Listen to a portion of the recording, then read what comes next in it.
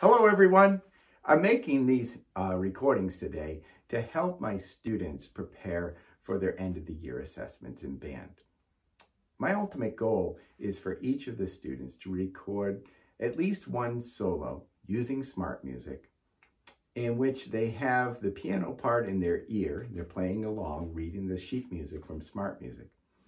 Then I take their audio recording and layer it with the video and the piano accompaniment.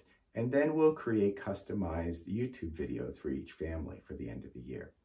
I hope this is helpful to you.